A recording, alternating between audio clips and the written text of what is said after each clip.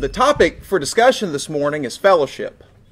And uh, this is a pretty controversial topic. Um, as we think about the Bible's teaching concerning who we as Christians and who we as a congregation should partner with. And, uh, you know, usually when we use the word fellowship in the church, we use it concerning the social functions of the church. You know, we're having a, a fellowship meal, or, you know, the youth last night had a, a movie night. They're having a fellowship night. And, and that's the way that we usually think of the word fellowship.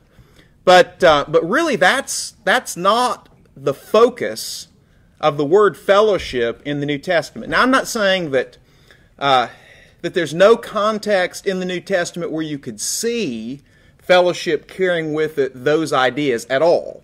You know, I, I think certainly, as we'll notice in a minute, Acts 2 would lend itself to the notion of having shared meals and that sort of thing.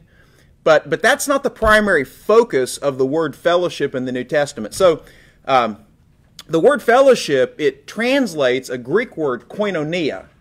And uh, you, may, you may notice just that word, koinonia, our word coin comes from it. And so common is kind of the idea uh, behind the word koinonia. Uh, the Greek in which the New Testament was written is called koine Greek, common Greek. Uh, there was a time when uh, scholars thought that the New Testament was written in a wholly different Greek because uh, the style was different from classical Greek, and there were, as memory serves me, prior to the discovery of some papyri in Egypt in the late 1800s, there were about 500 words in the Greek New Testament that weren't attested anywhere in other ancient Greek literature. But through the discovery of those papyri, it was learned that the Greek of the New Testament was just the Greek that was spoken on the streets in the first century. And so it's Koine Greek, it's common Greek. And so the idea of koinonia, I've got the definition there from uh, Frederick Danker's concise Greek English lexicon. It's a close association in shared interest. And a related term in the New Testament, koinonos, is often translated partners. And that's, that's the idea, partners. Look at Luke 5. Luke chapter 5. And while you're turning there, I'm going to roll my sleeves up. May not look good for the video, but I'm starting to get a little warm. Luke 5. So, so Luke 5 is uh, Luke's parallel to what we read in Matthew 4 and Mark 1. Jesus calling uh, Peter, Andrew, James, and John to be his disciples.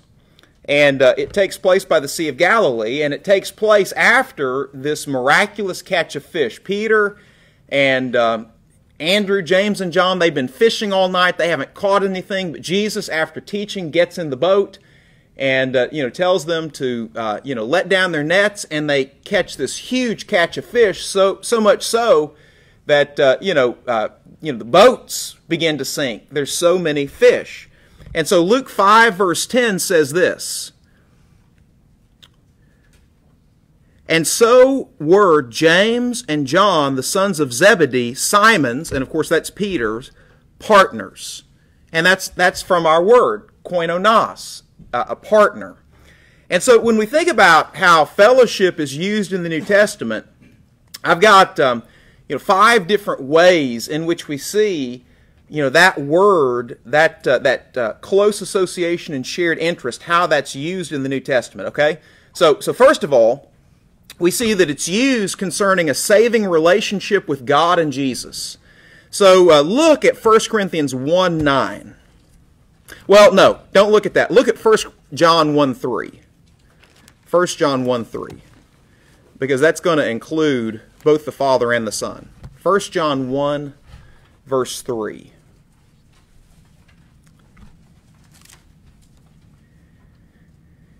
And here, John, uh, using the we, probably referring to himself and the other apostles, though as best we can tell, he's the only living apostle at that time, but their, their testimony remains.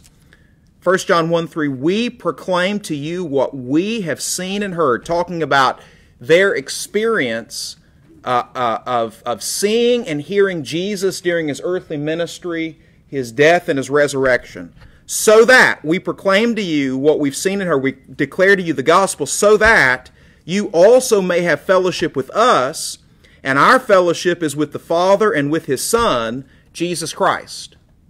So, whenever we obey the gospel through the apostolic witness, we have fellowship with the Father and with the Son. We enter into this relationship with the Father and Son that involves us sharing in the benefits of Jesus' death and his resurrection and all the blessings that come therewith. So that's the first way that fellowship is used in the New Testament. A second way that it's used in the New Testament is relative to the Lord's Supper, which we're about to eat. Look at 1 Corinthians 10, verse 16. and the context of this is uh, that Paul is correcting the Corinthians now for their participation in idolatry.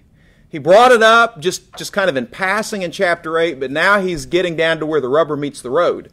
And there are some Corinthians who are so enlightened and they think, well, since you know idols don't have any real existence, it's okay to go to the idol's temple uh, and, and, and participate in the sacrifice to the idol and eat the sacrifices and that sort of thing since the idol has no real existence. And, and Paul says, no, you can't do that.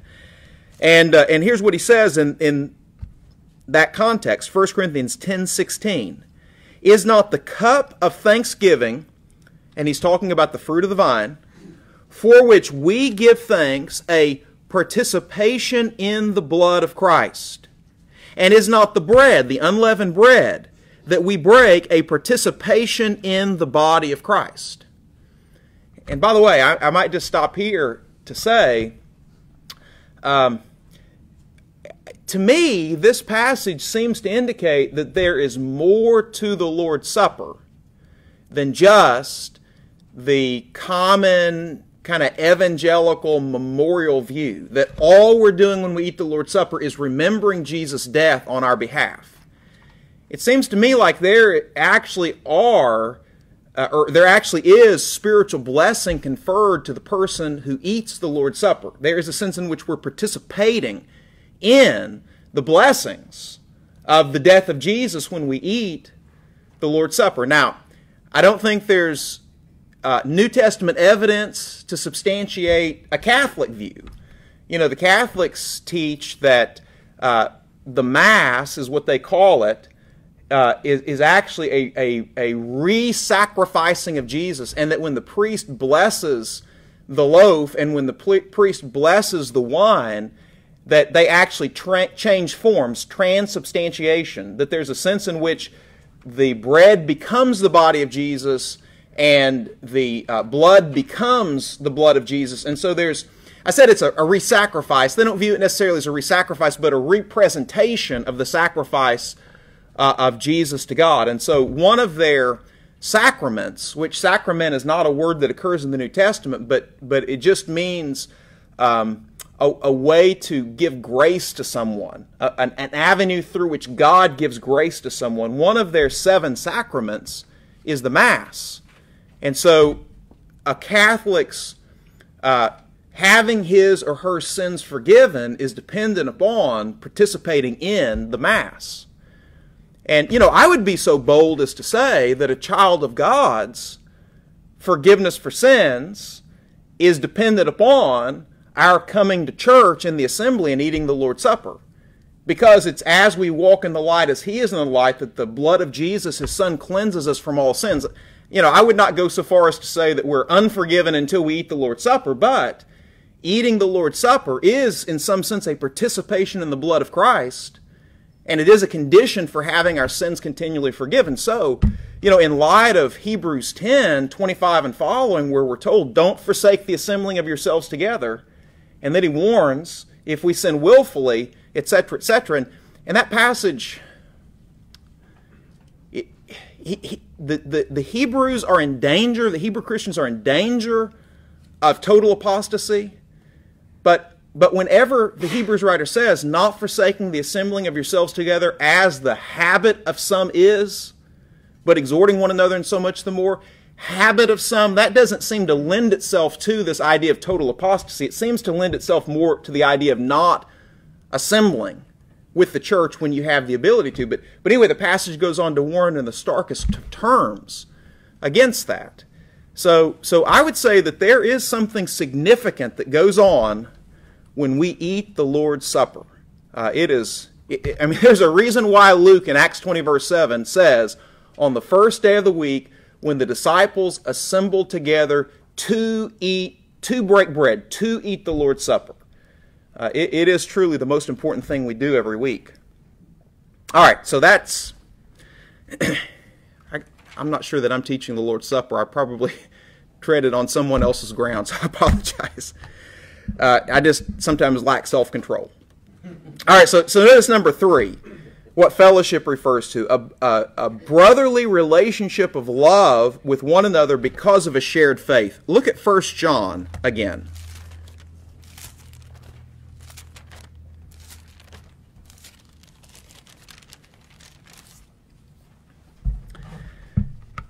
So 1 John 1 3. We proclaim to you what we have seen and heard so that you also may have fellowship with us. So we've shared the gospel with you so that you can have fellowship with us, the apostles, and our fellowship is with the Father and with His Son, Christ Jesus. So, so we have fellowship with one another, we'll notice in just a minute, because we have fellowship with God and with Christ. Drop down to verse 7 of 1 John 1.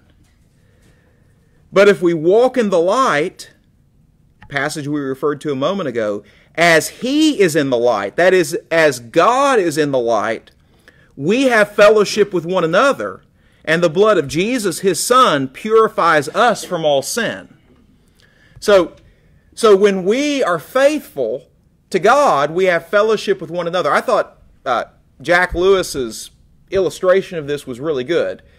He said, you know, uh, your watch, you know, may say that it's you know 9:45 and my watch may say that it's 9:47. But if if we both set our watch by the official standard, where where is the official standard?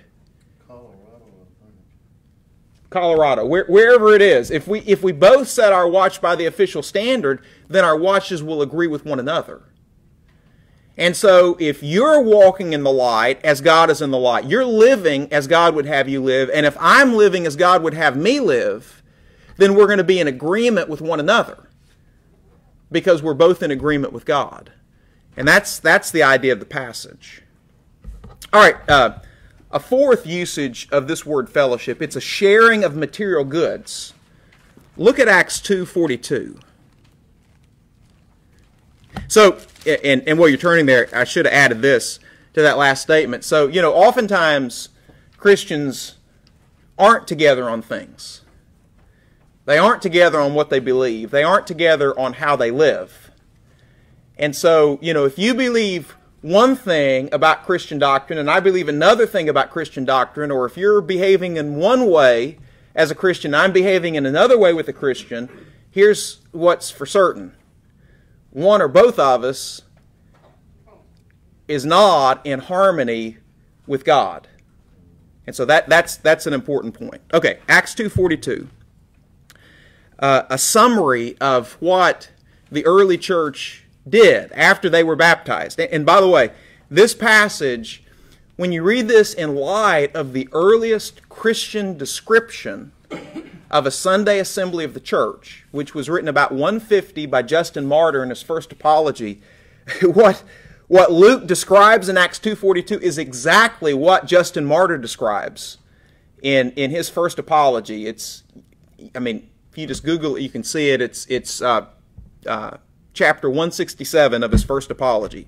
Anyway, Acts 2.42 says this, They, the early Christians, devoted themselves to the apostles' teaching and to fellowship, to the breaking of bread and to prayer. So, what did they do regularly? What, what did they do when they came together? Well, they had teaching or preaching. They devoted themselves to the apostles' teaching. They ate the Lord's Supper, the breaking of bread, a synecdoche for the Lord's Supper, where you eat the bread and drink the cup. and to prayer. They had congregational prayers. Well, what does the fellowship have reference to there? Well, the fellowship is fleshed out for us as we read down in the context. Look at verse 44. All the believers were together and had everything, note this, in common. And in, in the Greek, the word there translated common is related to that word fellowship, koinonia, in verse 42. So they had all things in common. Verse 45 they sold property and possessions to give to anyone who had need. Every day they continued to meet together in the temple courts. They broke bread in their homes and ate together with glad and sincere hearts, praising God and enjoying the favor of all the people. So, what's the fellowship that they engaged in? It was a sharing, a sharing of their material goods. They gave when they came together. And then there was a distribution, we see, you know, I mean, here, but also in Acts chapter 6, to those who were in need.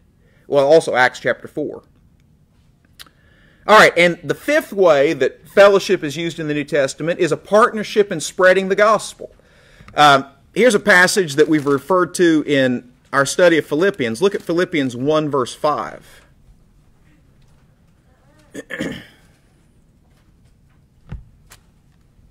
Philippians 1, verse 5. Well, let, us read verses 4 and 5. Paul says, In all my prayers for all of you, I always pray with joy because of your partnership in the gospel from the first day until now. They were partners with Paul. How were they partners with Paul from the first day until the present day? Well, remember what happened that first day? Lydia, obeyed the gospel, and she invited Paul and Silas and their crew to stay in her house. So she supported them. She was their partner. And then, of course, we learn in in uh, Philippians 4, verse 3, that Euodia Syntyche and others were, uh, were striving together with Paul to share the gospel. So, so they're all doing what they can do in order to get the gospel to as many people as possible. And that's what Christian fellowship is about. All right, any, any comments on that before we move into the, the body of the lesson? And so, so don't misunderstand me. I don't think, for instance, that um, what uh, the youth did last night is not, in some sense, fellowship, getting together to watch a movie and to enjoy one another's company. I mean, that's all, that's all good, and and we need to do stuff like that. But that is not the main emphasis of the New Testament's teaching on fellowship. New Testament fellowship is us working together for the cause of the Lord. Our shared interest is in getting the gospel to as many people as possible, and that's, that's really the focus of New Testament fellowship. All right, well, let's think about some conditions for fellowship. And you know, the real um, focus, well, let, let me say this before, we, before we do that, just on the last comment. So, so, so the point that I would that I would make out of that last comment is we need to be serious about our faith. Faith is about getting serious about the matters that matter. And you know, a lot of people a lot of people want a church for a social club, that for relationships. And relationships are so important, and these are relationships. But our but our relationships are not based upon the fact that we root for the same football team or we have the same hobbies or anything like that. That's not the basis of our relationship. That I like your personality and you like my personality, that's not the basis of our relationship. The basis of our relationship is that we both fully believe that Jesus Christ is Lord and that He died for our sins and He was resurrected and He's going to judge every person one day and everybody has to know the gospel. And so, because we both believe those things, that holds us together even when our personalities don't mesh. Right? That, that's what holds us together. Okay, uh, so down to one. Conditions for our fellowship. You know, the real um, question of the chapter concerns whom we should fellowship in the local church. And um, Brother Lewis gives us a couple of examples to show us that we need to be careful about that.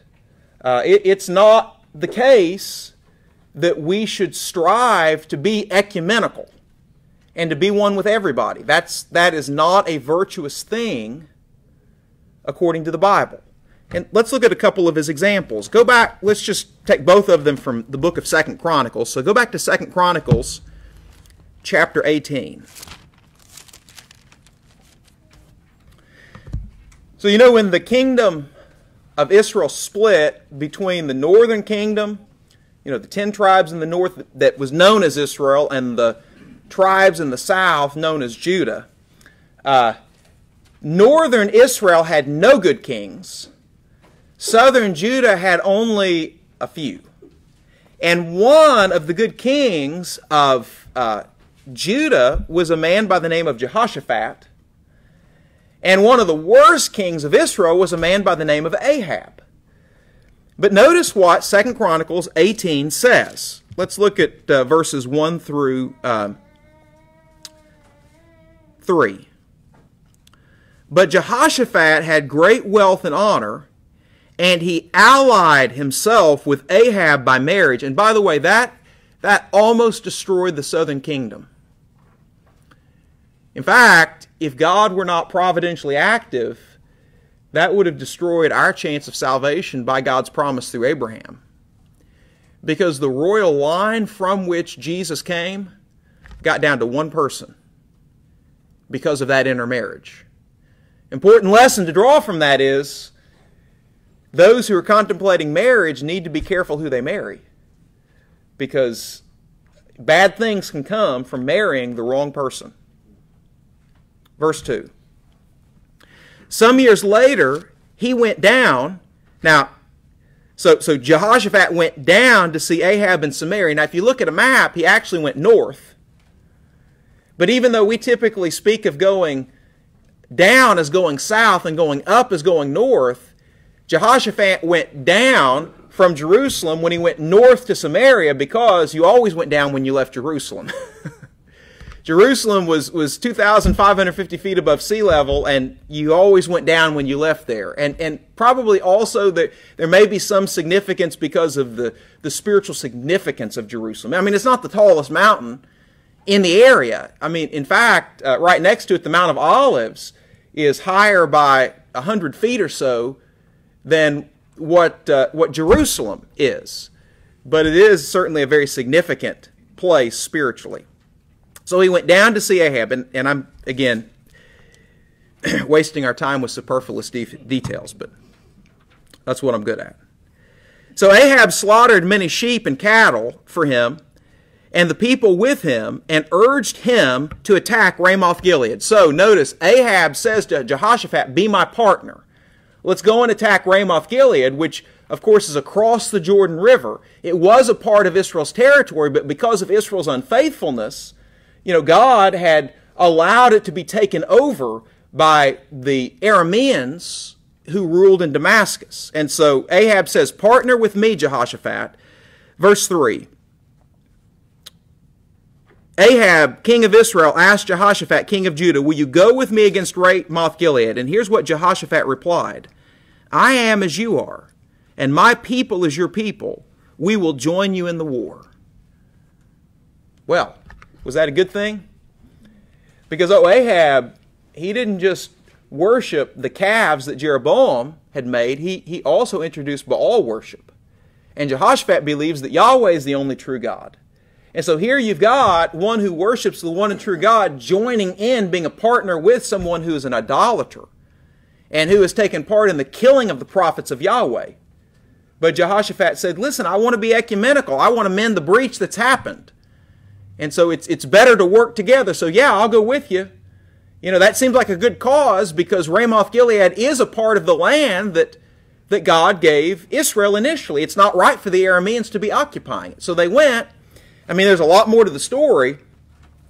Uh, Ahab ends up dying in battle. And here's what Jehoshaphat is told when he gets back to Jerusalem. Look at chapter 19, verses 1 and 2. When Jehoshaphat, king of Judah, returned safely to his palace in Jerusalem, Jehu the seer, so seer is a name for a prophet. Um, I think it's 1 Samuel 9 9 where that's defined. Jehu the seer, the prophet, the son of Hanani, went out to meet him and said to the king, quote, Should you help the wicked and love those who hate the Lord? Because of this, the wrath of the Lord is on you. There is, however, some good in you, for you have rid the land of the Asherah poles, uh, idols, and have set your heart on seeking God. But here he's rebuked for his ecumenical spirit. Should you uh, help the wicked and love those who hate the Lord? By the way, who hates the Lord? I know we think uh, of hate in terms of emotion, but biblically speaking, what does it mean to love the Lord? And conversely, what does it mean to hate the Lord? Obey versus disobey. That's it. Jesus said, If you love me, keep my commandments. 1 John 5 3. This is the love of God that we keep his commandments, and his commandments are not grievous. So even if someone says, Oh, I love the Lord, but they are disobeying the Lord and won't repent, in reality, they don't love him. They hate him. So, so the point of the passage is we should not uh, join up with and be partners with those who are consistently disregarding Scripture. Okay, uh, I've got the other example from Second Chronicles uh, that Jack Lewis uses there, but we're going to pass over it for now just because of, of time. But, but an inference, look at C under A. An inference that can be drawn is that we should have fellowship only with those who are in fellowship with God. And notice, notice 1 John 1. And we'll make the same point that we made from 2 Chronicles 19.9. But I think it's helpful to make this point um, in a couple of ways. 1 John 1 5 says this This is the message we have heard from him, that is, from Jesus, and declare to you. So the apostolic message God is light, in him there is no darkness at all. To say that God is light means that God is absolutely holy. Darkness here stands for sin. So God's way, the way of Scripture, is the way of light. Anything contrary to Scripture is the way of darkness. Verse 6 If we claim to have fellowship with Him and yet walk in the darkness, we lie and do not live out the truth. Now, I was, I was talking to someone the other day whose life was very, very contrary in, in a, a particular area, living with someone to whom they're not married, so having a sexual relationship with someone to whom they're not married, and this person said, "Listen, God and I are good. We've we've got it worked out. We I talk to him all the time. We're in a in a right relation. I'm in a right relationship with him. We're good." And this is the passage. It says, If we claim to have fellowship with him and yet walk in the darkness, we lie and do not live out the truth. Just claiming something is so does not make it so. We have to do what the Bible says. All right, so so with whom may we have fellowship in the church? Well, let's think about whom we accept as members of the church. Look at B. Uh, we won't take time to read these two passages, but, but a related word to koinonia occurs in Titus 1 4 and Jude verse 4 uh, in, an, in an adjectival form. So, so Titus 1 4 says we have a common faith. And Jude verse 4 speaks of the common salvation. So those that we should have fellowship with in the church are those who have a common faith and as a result share in our common salvation because it's koinonia, it's a, it's a shared relationship. And so um, I put this passage down just because this is, this is that point in time when we, as a result of a common faith, actually share in a common salvation. Look at Galatians 3.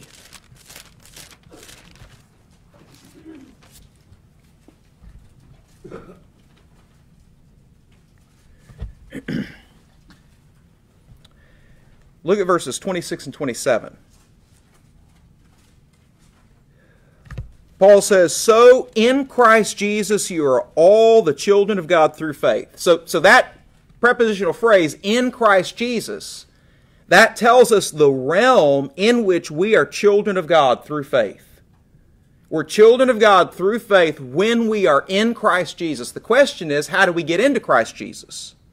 Verse 27 tells us that. For all of you who were baptized into Christ Jesus have clothed yourselves with Christ. So, you know, we have fellowship with those who are in the family of God. We become a part of the family of God in Christ Jesus. How do we get into Christ Jesus? Well, it's when we, by faith, are baptized into Christ. That's when we're in Christ Jesus. That's when we're the family of God. And so Paul goes on to say, verse 28, there is neither Jew nor Gentile. There is neither slave nor free. There is neither male nor female, for you are all one in Christ Jesus. There's, there's our fellowship that we have. We are one in Christ Jesus, regardless of our race, regardless of our social standing, regardless of our gender. If we, by faith, are baptized into Christ Jesus, we're the family of God and we're to be one with one another. But of course, the implication of that is in the church, we can't accept into our fellowship those who have not, by faith, been baptized. You know, we, we can't accept those who, for instance, say they were baptized, but you say, well, what, what does that mean? And they say, well, my parents had me sprinkled when I was a baby. Well, that's, that's not what the Bible calls baptism. Uh, you know, on that, turn, turn over a book to Ephesians. Look at Ephesians 4. What time is it? 10:05. Okay. Um, look at it. Do I want to say this? I know, no, we can't say this now.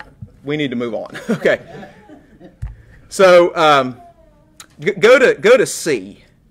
Go to C. Um, we may only have fellowship with those who have been baptized into Christ who continue to live in harmony with Jesus' will. So, a person's got to be baptized and have faith to enter into our fellowship, but to remain in our fellowship, they have to continue to live as Jesus taught. You remember what we saw 1 John 1 7? I mean, we've read it a couple of times, so John said, If we walk in the light as he is in the light, we have fellowship one with another. If we walk in the light, we have fellowship one with another. So, what about those who refuse to walk in the light? Well, look at 1 Corinthians 5.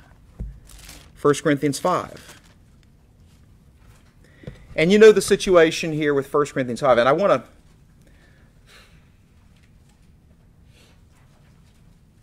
I'm going to make this point pretty quickly and then, and then we'll move into point two because there are some things we need to say in, in two. But you know the situation in 1 Corinthians 5.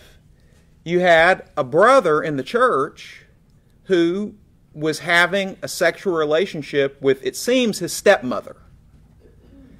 And the church at Corinth, they were so broad minded, they were accepting this brother, and they were so proud of themselves for the broad mindedness, continuing to allow this brother to attend services, to eat the Lord's Supper with them, to, to, to fellowship with them, speaking in social way.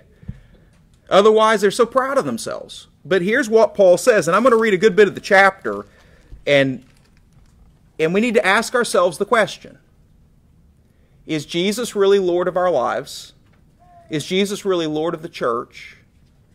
Would we be willing to do this?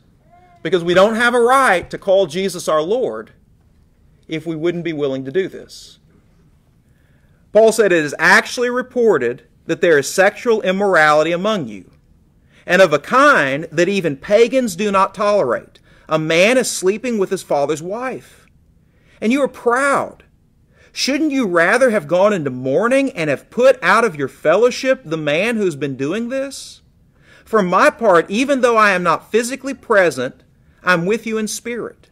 As one who is present with you in this way, I have already passed judgment in the name of our Lord Jesus. So notice this carries with it heaven's authority. In the name of our Lord Jesus on the one who's been doing this. So when you are assembled, by the way, this shows that the assembly on Sunday isn't just for preaching and for praying and for giving and for eating the Lord's Supper and for singing. More can be done in the assembly, including church discipline. So when you are assembled together, this is to be done before the congregation. And I am with you in spirit, and the power of our Lord Jesus is present. Hand this man over to Satan for the destruction of the flesh, so that his spirit may be saved in the day of the Lord Jesus. The goal ultimately is salvation. Your boasting is not good. Don't you know that a little yeast leavens the whole batch of dough? Get rid of the old yeast so that you may be a new unleavened batch as you really are.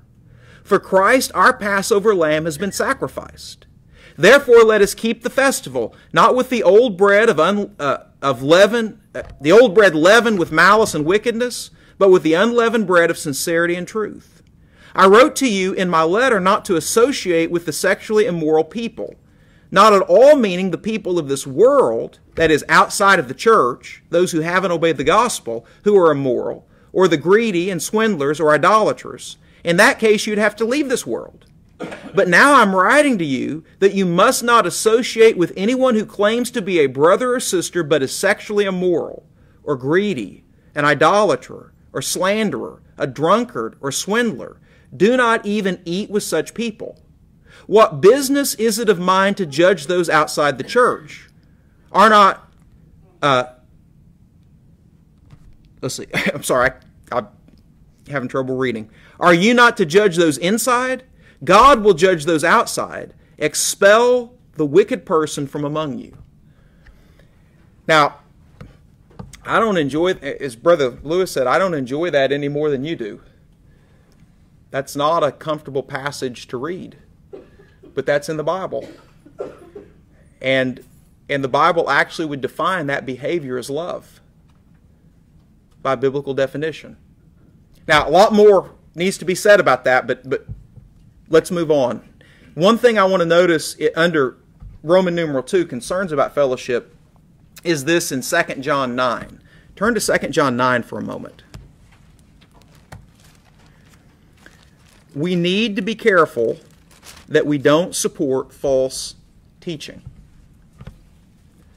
2 John 9. Don't ask what chapter. We'll read through verse 11. And I'll hold my Bible up where I can actually see the text. Anyone who runs ahead literally progresses. The term progressive doesn't have a, a positive connotation in, in the New Testament. Anyone who runs ahead and does not continue in the teaching of Christ does not have God. Whoever continues in the teaching has both the Father and the Son. If anyone comes to you and does not bring this teaching, do not take them into your house or welcome them. Don't support them in their teaching. Anyone who welcomes them shares in their wicked work. Now, what is the teaching of Christ here? I think in the context it has to be the teaching that Jesus came in the flesh, the incarnation. Verse 7 makes that clear. But in principle, this applies to any serious false teaching. John says that whenever we support it, then we are just as guilty as the one who teaches false doctrine. And so it is so important what sort of ministries we support.